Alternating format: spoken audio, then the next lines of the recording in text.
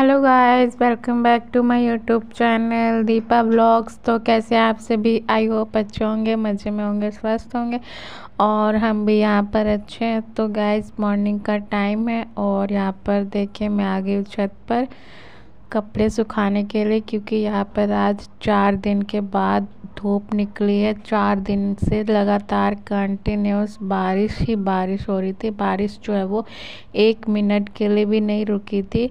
और यहाँ पर देखिए छत पे लगा हुआ है मिर्ची का पौधा और उसमें छोटी छोटी मिर्ची भी उग चुकी है और यहाँ पर हमारे छत से सुबह सुबह मंदिर के दर्शन भी हो जाते हैं।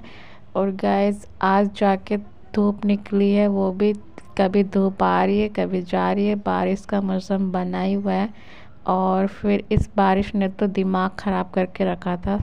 चार दिनों से जो बारिश हो रहा था तो हो ही रहा था। फिर यहाँ पे मैं नीचे आई तो मैंने यहाँ पे अपने लिए चाय रखी है बनने के लिए और एक तरफ़ सोयाबीन बॉयल कर रही सब्ज़ी बनाने के लिए।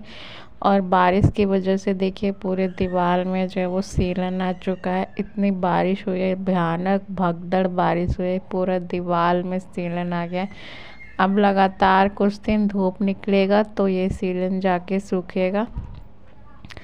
सच में इस बारिश ने तो सबका ही दिमाग ख़राब करके रखा था। ऑफ़िस जाने वगैरह में भी एकदम दिक्कत होती थी।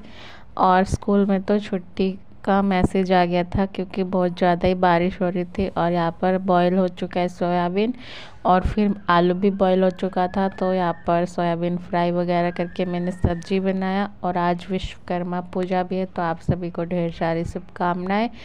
और फिर यहाँ पर मैं आ चुकी हूँ नहा के और आज मैंने वो धोए हैं बाल क्योंकि मुझे बाथरूम क्लीन करना था और बहुत सारे कपड़े भी थे धोने के लिए। क्योंकि चार दिनों से तो कपड़े वगैरह कुछ नहीं धुल रहे थे बारिश में सुखाते कहा अगर धो भी देते तो। तो इस वजह से आज ढेर सारे कपड़े धुले फिर आ, और इस वजह से आज मुझे पहननी पड़ी साड़ी।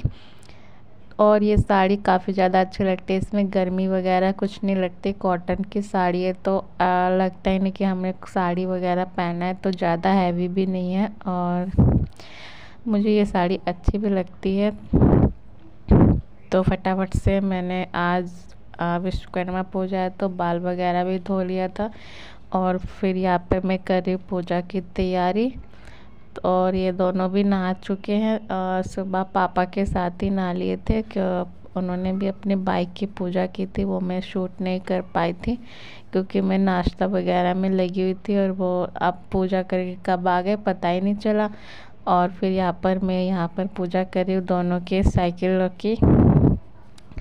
तो साथ में ये भी बोल रहे थे कि, मम्मा, हम भी करेंगे अपने साइकिल की पूजा, तुम कर रही हो तो। फिर पहले मैंने किया और तिलक वगैरह लगाए, फिर इन दोनों को दे दिया था और काफ़ी ज़्यादा एक्साइटेड हो रहे थे दोनों पूजा करने के लिए।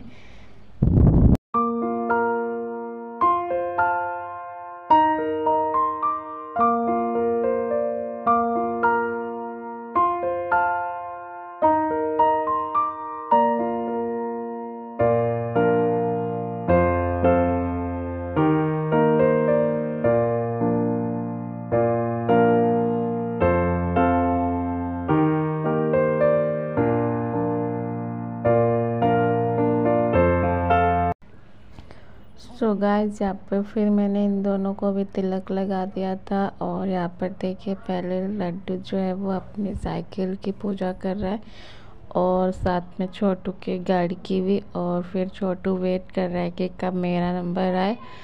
तो छोटू भी काफ़ी ज़्यादा एक्साइटेड है, उसको भी काफ़ी ज़्यादा मज़ा आता है। तो देखिए, अपने छोटे छोटे हाथों से वो भी पूजा कर रहा है अपनी गाड़ी की और काफ़ी ज़्यादा खुश भी था वो।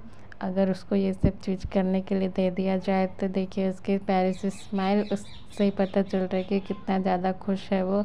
और फिर यहाँ पर ये हो चुका है इवनिंग का टाइम तो सुबह जो ढेर सारे कपड़े धुले थे, उनको अब फोल्ड करने की बारी है जितना आलस कपड़े धोने में नहीं आता, उससे ज़्यादा आलस जो आता है वो कपड़े फोल्ड करने में आता है।